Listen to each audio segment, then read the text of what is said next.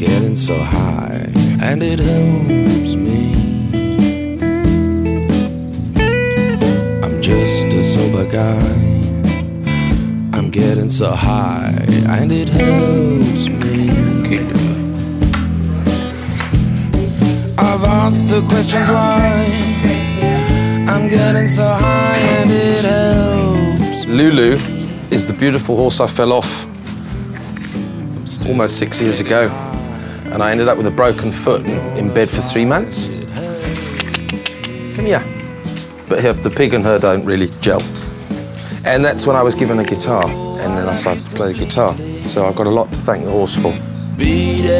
No, that's just before the fade. That's, yeah, okay. So that's I promise. Matter what. I mean, I only picked up a guitar five years ago and started to do this hardcore rocky sort of feel in the middle of the song. The Jackanory for me, I always feel really selfish because obviously the songs were about my experiences when I wrote them.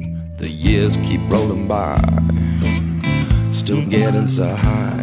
He's telling his, his life story really in his songs, and so it's kind of nice to be a part of that, and, and, and hopefully I'm helping him as well.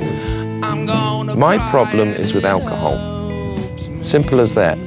I think alcohol has done more damage to this world than any other substance has. I think if I'd got into music when I was a lot younger and drinking, it would have been a would have been a fucking dreadful journey. You know, I, I probably wouldn't be standing here today. I'd be perhaps six foot under. It's that I. For me, music is therapy. It's much cheaper than a than a psychologist or a psychiatrist. Playing guitar is very therapeutic. Wow. So I can do hours and hours and hours of it. Maybe because I'm basically quite a lazy person, so sitting down with a guitar on your lap is is uh, is not too strenuous, really.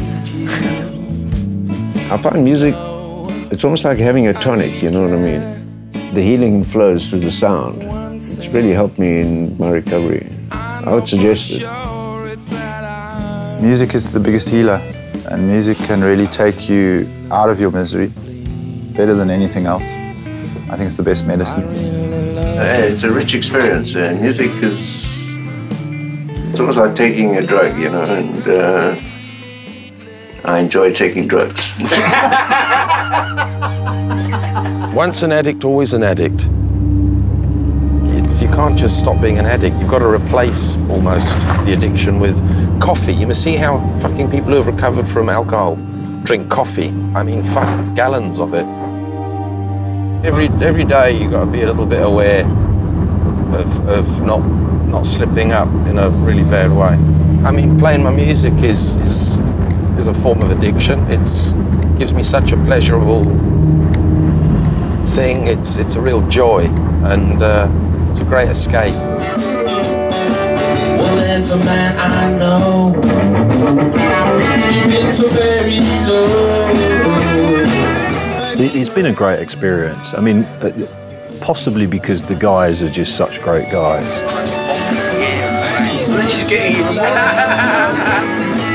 So rich in life because he loves Mother Nature. My journey with Christian is like a brother, you know.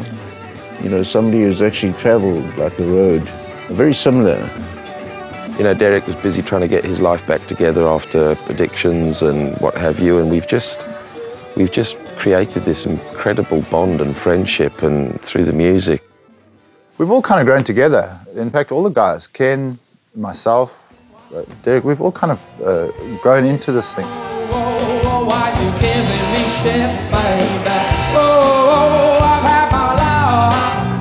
Derek and I had played as a duo at the River Club a couple of times, and a guy there, he came up to us and asked us if we had a CD, and um, I explained that we'd done four tracks, but we were quite a long way off getting it finished because of money, and he kindly offered to pay for it all, um, totally out of the blue, and I suppose it gave me a lot of faith in what we were doing. It's if this person's prepared to believe in what we're doing, and he's heard this and believes it can can grow from here, it, it encouraged me a lot.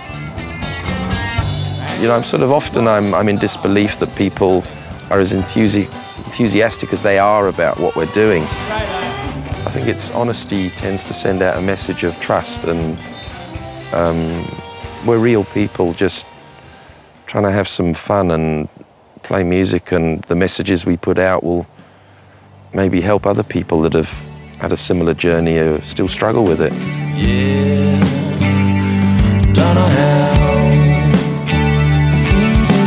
Yeah, Hopefully, the Jackanory Music is, is refreshing.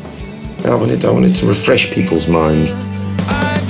Christian told me that uh, you know that the whole the whole project's being sponsored by someone he met in a, at a gig in a pub. shallow friendships in a glass. I think that's the same thing I felt when I first heard Christian's songs. I thought, sure, there's something here. I couldn't put my finger on it, and I didn't know what it was.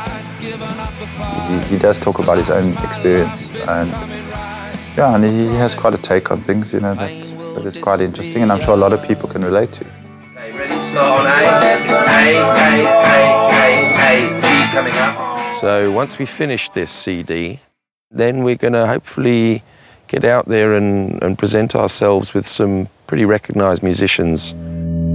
The years keep rolling by, still getting so high. And it hurts. From being like an insecure drunk to being a sober person who can get on a stage in front of a few hundred people and and sing my songs and with Derek and the guys behind me is something that I was told I could never do as a youngster. Ooh, I really need. No, I've seen huge growth in him. I mean, he is quite a, uh, um, I won't say young musician, but he, he started late. That's my next part of my journey is to be happy and to have fun, you know, and to just be passionate about the music and let it speak for itself. It's only sort of becoming something through recording the album, you know, um, which is great because, you know, who knows where it's going to go from there. Derek's one that if he says if you if you believe the dream, it, it has to happen, you know. Still, it's, it's that, that eternal promise of as long as I stay sober, everything will be okay. I know for sure it's that I I really love you completely I really